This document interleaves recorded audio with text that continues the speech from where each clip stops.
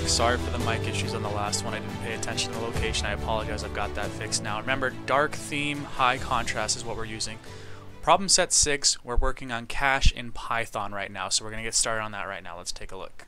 So cash in Python, we're writing the program cash.py. We're going to use get float, which means we actually have to import that from the CS50 library. We didn't have to do anything on Mar Mario because that was all built in. So we're going to start with just that. This is going to be another very simple code. It was actually pretty simple in C. We're going to make it pretty simple and actually even more simple now in Python. So let's start with what we need to do. So we're going to be importing get float. So let's start with that. So we're going to do from CS50 import get float. And we're going to do that first because we're going to end up using get float right away. So the first thing we're going to do here based on the notes, prompt the user for an amount of change owed until a non-negative value is provided. So while true again, we're going to look for change owed is going to be equal to get float. We need to have these in a float value, right? So that's why we're going to put that there, and we're just going to put change owed colon, close that out, and actually let's put the space and the end quote and close that out. And then if change owed is greater than or equal to 0, great. We're going to go ahead and break out of this.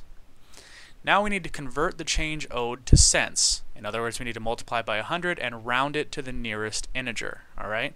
So change owed cents, right, is going to be, let's put that in cents, equal to round. Now we don't need to import the math libraries. This is all built in. We need to round the change owed times 100. So that's how we're going to get it to the nearest integer. Next thing we're going to do is initialize our number of coins to 0. Easy. Number of coins equal to 0. Done. Finally, we're going to calculate the number of coins needed. Now this is going to be a very simple, very redundant function. I did it in a more simple way on cash.c. You'll look at my code here. And remember, this was not the best way to do it, but it sufficed for the code that we needed to do. We just divided by 25, 10, 5, 1. We're going to do a similar redundancy here on cash.py, and we're going to look up the same style of stuff here. So let's go into while change owed cents is greater than 0, so anytime it's greater than nothing, if change owed cents greater than or equal to 25, then we're just going to do change owed cents, and I'm going to be using this a lot, so I'm just going to copy and paste this. Change owed cents um, minus equal 25. So we're going to take 25 away from that every time until we can't take it anymore. So the number of coins plus equal 1. Now, on top of that, let's move this if into our while loop. There we go. So on top of that, we need not just 25, we need 10, 5, and 1, right? So in Python, it's elif, right? So change owed cents after re removing 25 every time we can is greater than or equal to 10. Then we need to change owed cents minus equals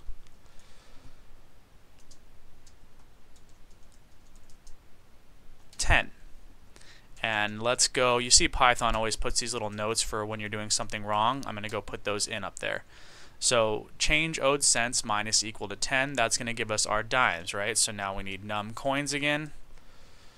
Number of coins plus equal to 1. And now we need another elif for our nickels. So change owed cents. Now if it's greater or equal to 5, then we need change owed cents minus equal to 5. And we need number of coins plus equal to 1.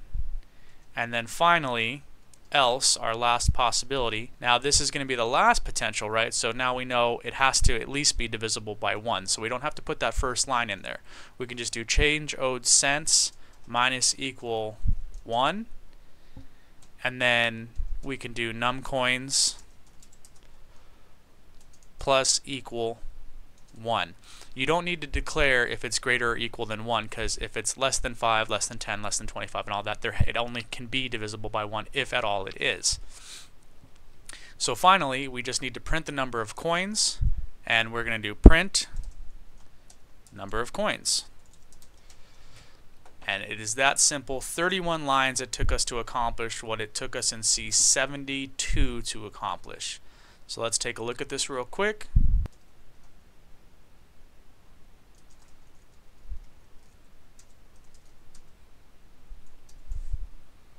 Go ahead and run our check on it real quick. Oh, it's going to fail because I just realized I need a colon here. So let me put that in there and then as soon as this fails. And also we're going to change this right here. It's not equals plus it's plus equal. And I see another one here. It should be minus equal to 5 so let's run that now that we've got all those updated and just so you guys can see it I'll go ahead and move this up here you guys are all set. This is CS50 Week 6. That was Cash Python. I am Devin, and as always, you are awesome. Remember to like, comment, subscribe if these things are helpful. We'll see you soon.